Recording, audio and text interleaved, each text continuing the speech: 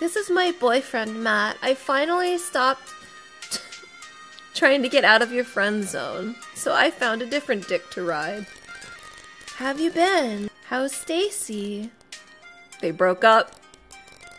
She's alright. You know how these things are.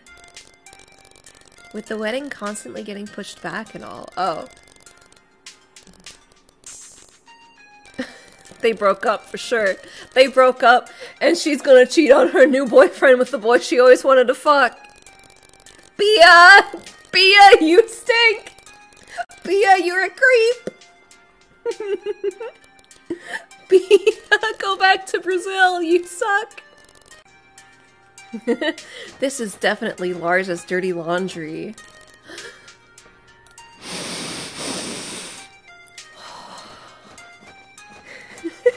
That's what Theo would do.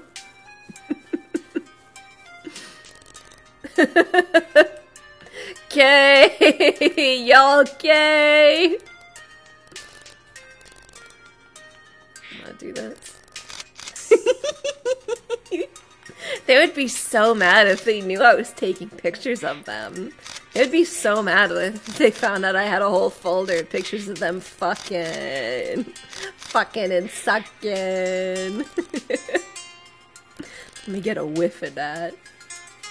Mama, mama, Milo's room. Found it. You are what you eat. I should play this on the TV downstairs. I'm gonna take pictures of Milo's room. what? That's her boundary?